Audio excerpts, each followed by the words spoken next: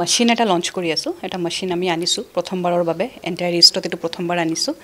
B T L company হয় multinational company তেওঁলোকৰ এটা মেচিন আছে ইগজিয়ন বুলি। গোটেই ইণ্ডিয়াত বিছখন আছে আৰু গোটেই ইষ্টত এইটো ফাৰ্ষ্ট মেচিন আহি আছে।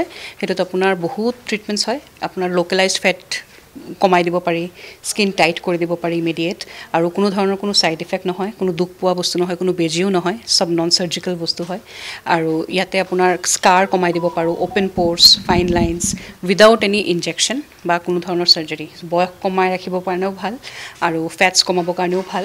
চ' গোটেইখিনি বস্তুৱে একে- একেটা মেচিনতে কৰিব পাৰি। তো সেইটো কাৰণে skin care skin care skin care body কণ্ট্ৰলিঙো কওঁ আমি কাৰণ বডিটো কৰিব পাৰি। কাৰোবাৰ যদি অলপ পেটটো বেছিকৈ ওলাই গৈছে সেইটোও কমাই দিব পাৰি। চ' ধৰক জিমত গৈ গৈ আপুনি কমাব পৰা নাই তেতিয়া এইটো মেচিন দি পেলাই আমি কৰিব পাৰোঁ। মেচিনটো আমাৰ আহি পাইছেহে চ' আজি লঞ্চ কৰি আছোঁ আৰু ট্ৰিটমেণ্ট আজিৰ পৰাই ষ্টাৰ্ট হৈ গৈছে। ইলুমিছ এষ্টেটিক ক্লিনিক এতিয়া আমি দহ বছৰে হ'ব লঞ্চ কৰা আমাৰ ক্লিনিক খোলা।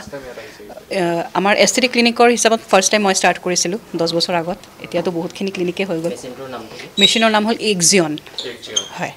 প্ৰাইচটো আমি বহুত ধৰণৰ পেকেজ দিছোঁ এনেতো এক্সপেঞ্চিভ হয়। পেকেজৰ ভিতৰত ধৰক এৰিয়াৰ ওপৰত ডিপেণ্ড কৰিব কিমান ডাঙৰ এৰিয়া কিমানখিনি ফেটছ আছে সেইটোৰ ওপৰত। কিন্তু তথাপিও ধৰক বিছ হেজাৰ পঁচিছ হাজাৰমানটো আহিব পেকেজটো হা। পেকেজটো পূৰা টুৱেণ্টি টুৱেণ্টি ফাইভ থাউজেণ্ডমান আহিব। কাৰণ নহ'লে আপোনাৰ ইঞ্চ লছটো দেখা নাপাব কেইটামান চিটিং লাগে ইয়াত। নাই এইজৰ এইজৰ কোনো কথা নাই যিকোনো মানুহে কৰিব পাৰে। কোনো ধৰণৰ এনেকুৱা কোনো বেমাৰো নাই যোনটো বেমাৰত এইটো কৰিব নোৱাৰি। সেইটো খুবেই ছেফ মেচিন আৰু বি টি এলৰ মেচিন মই দহ বছৰ আগৰটো আৰু এটা লৈছিলোঁ। সেইটো খুব ছাকচেছফুল আছিলে খুব ধুনীয়া ৰিজাল্ট দিছিলে। তো এইটো আৰু বেছি এডভান্স আহিছে। একেলগে ৰেডিঅ' ফ্ৰিকুৱেঞ্চি আল্ট্ৰাছাউণ্ড গোটেইখিনি বস্তু একেলগে গৈ পেলাই আমি এটা ধুনীয়া এটা শৰীৰ পাব পাৰোঁ।